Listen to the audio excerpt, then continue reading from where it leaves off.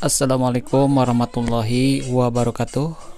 Selamat datang kembali di channel ini. Pada kesempatan kali ini, saya akan melakukan pembongkaran ya. Tapi sebelum dibongkar, kita akan coba cek dulu untuk memastikan jenis kerusakan TV LED ini ya.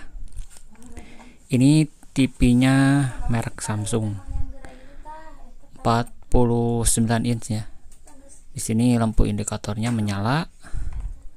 Setelah dicolok ke sumber listrik tapi tidak menampilkan layar dan ada suara berdecit seperti konslet ya. Ini menurut informasi dia kena air ya. Gak tahu kena air ke kena bocor atau apa ya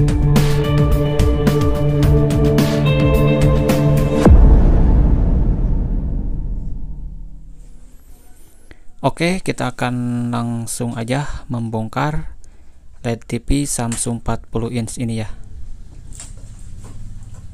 Ini lumayan agak berat ya dan agak riskan juga ya untuk membongkar TV 49 inch ini ya. Apalagi dilakukan sendiri karena beresiko ya, resikonya sangat besar sekali kalau kita tidak hati-hati membongkar LED TV ini ya. Oke, kita senderkan di sini dulu ya. Biar nanti pas membongkar membukanya kita bisa aman ya. Oke, kita coba untuk bersihkan dulu. Ini ada bekas air. Ini bisa dilihat untuk modelnya ya. Model Samsung. TV LED Samsung.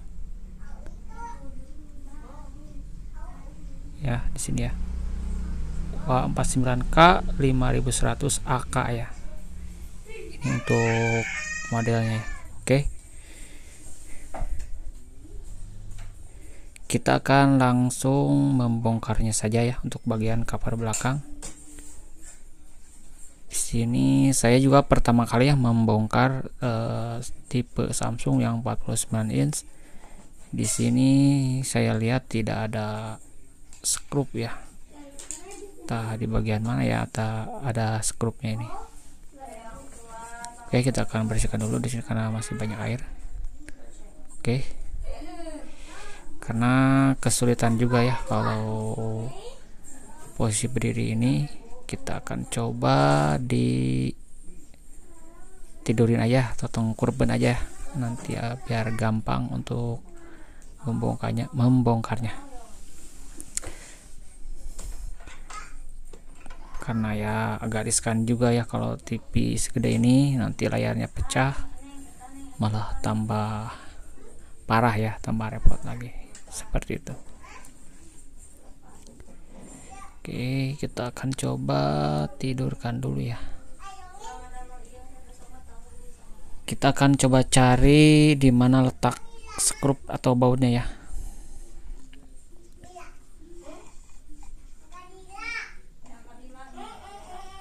Oke, kita akan pasin dulu untuk kameranya ya. Karena kalau ini tidak masuk semuanya gambarnya jadi di sini saya menggunakan kamera handphone ya bukan kamera digital atau sejenisnya ya. Karena belum punya ya belum kebeli intinya. Mudah-mudahan doa, doa daripada kalian para penonton semua yang setia mendukung channel ini doakan saya agar channel ini bisa berkembang dan bisa lebih menyajikan informasi yang bermanfaat. Oke, kita akan coba di sini kita harus mencongkel ya. Karena di sini ada skrupnya cuman satu biji ya di bagian dekat avein Oke, kita akan coba congkel satu persatu. Karena ini bahannya plastik semua ya. Kesulitan juga ini. Di mana gitu. Nah ini cuman satu aja skrupnya. Jadi dia menggunakan kancingan ya kancingan dari cover belakang ke body ke bodinya itu ya. Oke di sini masih kita lihat, lihat dulu dia ngancingnya ke arah mana ya. Karena kalau kita paksa takutnya dia patah. Jadi harus hati-hati ya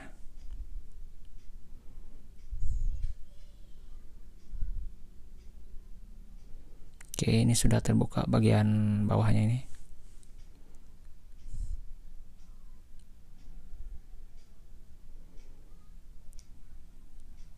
Di bagian kutuk kunciannya sebelah dari ujung ke ujung dan ada di bagian tengah juga ya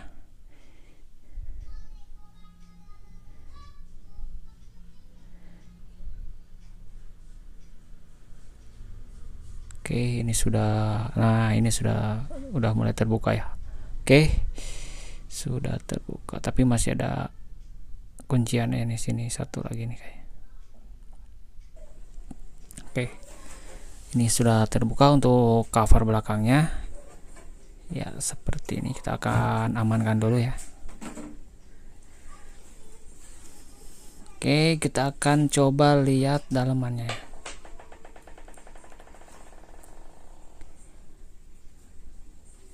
kita akan coba melakukan pengecekan. Tapi di sini masih ada bekas air ya banyak uh, air yang masih tersisa di bagian body TV dan ada sebagian di ini ya di main power juga ada. Mungkin ini bekas kena lembab kena air atau gimana ya yang menyebabkan TV ini jadi mati dan hanya standby saja nah, di sini di bagian ini banyak air ya. Oke kita akan coba keringkan dulu ya. Nah, jangan dulu dihidupkan. Nanti takutnya kalau dihidupkan dia akan tambah parah ya konsletingnya. Kita di sini saya menggunakan blower ya.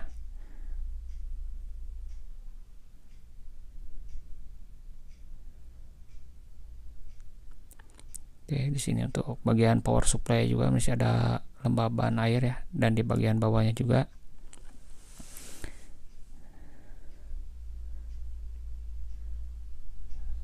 ini masih banyak air yang masih nempel ya di bagian sela-sela cover depannya ini ya.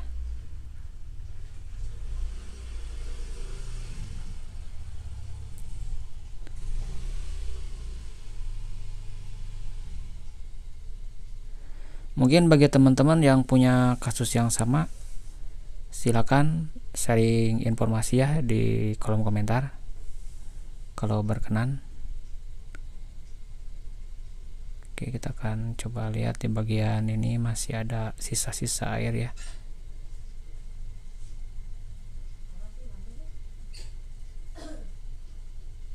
Kenapa di sini saya menggunakan so, uh, apa blower ini? Karena uh, agar cepat kering ya. Agar air ini cepat menguap oke. okay.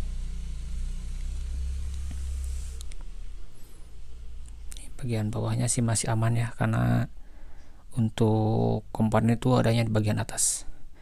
Oke kita lanjut ke bagian PSU atau power supply nya ya. Kita copot untuk soket-soketnya. Jadi di sini tidak menggunakan skrup atau baut ya dia cuman slot pakai kuncian aja. Jadi sangat gampang sekali ya. Kita lihat secara visualnya aja. Ini tidak ada yang terbakar ya. Seperti itu. Dan untuk memasangnya juga gampang ya. Tinggal masukin di slot langsung terkunci ya. oke kita akan coba cek untuk tegangannya. Apakah ada yang drop atau yang over ya?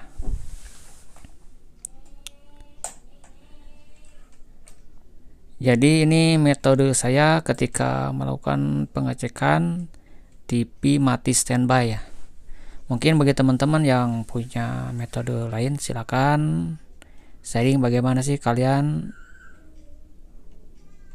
melakukan metode pemeriksaan, pengecekan dan lain-lainnya ketika mendapat eh, TV LED yang mati ya.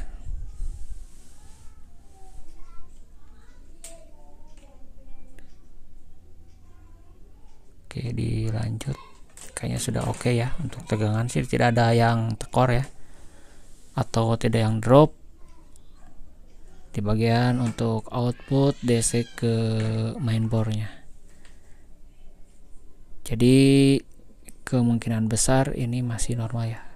Jadi kemungkinan besar masih normal karena dilihat dari hasil pengukuran eh, tegangan masih normal gitu.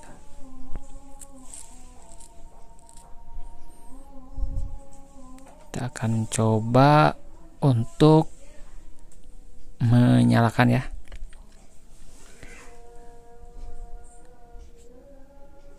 Menyalakan TV-nya langsung ya. Kalau tadi kita menyalakan untuk ngetes power supply-nya kita sekarang semuanya kita tes ya. Mungkin di jalur mana aja yang ada indikasi kerusakan sini indikatornya sudah nyala dan dia hanya berkedip-kedip saja ya tidak mau start ya. Ini hidup dan suara juga belum muncul ya. Mungkin karena tidak ada antena kali ya. Jadi belum bisa menerima siaran. Oke.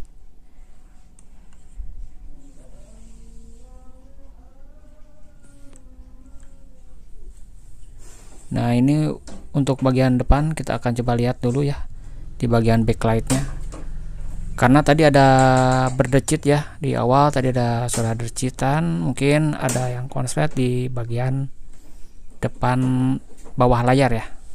Kita akan lihat apakah ini indikasinya kerusakan di lampu backlightnya atau di tikonnya ya. Karena tikon ini berada di bawah. Oke di sini saya akan coba buka untuk frame layar ya karena kita akan melihat lampu backlight. Dan untuk mengecek lampu backlight ini kita harus membongkar frame dan mengeluarkan panel LCD dan berikut pelapisnya ya.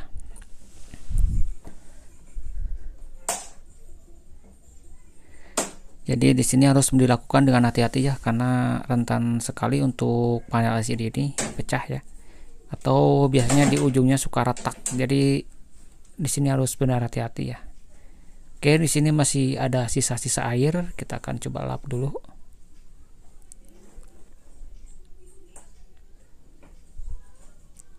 Oke kita akan coba keringkan ya. Pakai di sini saya menggunakan lap microfiber ya. Agar tidak meninggalkan serat-serat ya nanti di panelnya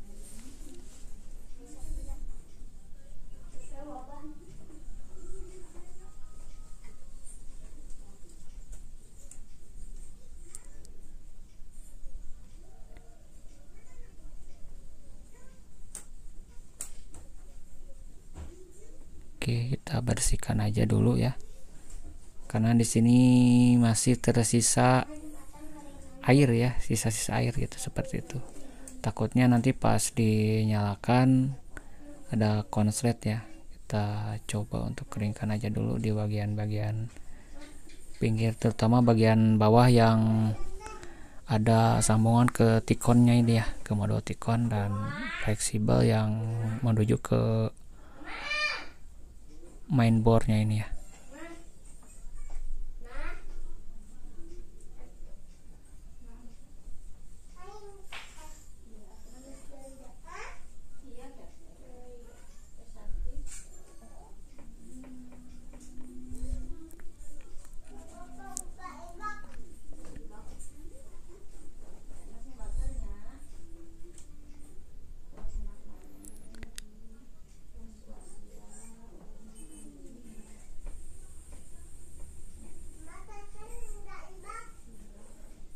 Oke, kalau sudah dirasa bersih dan dirasa kering, kita akan coba untuk angkat dulu ya. Oke, tadi sudah diangkat dan sudah ketemu untuk kerusakannya. Karena tadi mohon maaf tidak direkam ya, karena tadi kita eh, maksudnya saya memindahkan dan mengangkat dulu panelnya. Jadi hand uh, alat perekam atau handphonenya dimatikan dulu ya. Dan di sini sudah ketemu untuk kerusakannya yaitu ada beberapa konsleting dan sini terbakar ya di bagian lampu backlightnya. Dan ketika saya tes seperti ini ya hasilnya dia kedip-kedip saja tidak mau start ya. Nah bisa dilihat ya di video ya. Jadi ini kerusakannya sementara adalah konsleting di bagian lampu backlight. Ada ya beberapa jalur yang terbakar dan mungkin ada lampu LED SMD yang sudah mati ya. Oke segitu aja. Nanti kita lanjut ke video berikutnya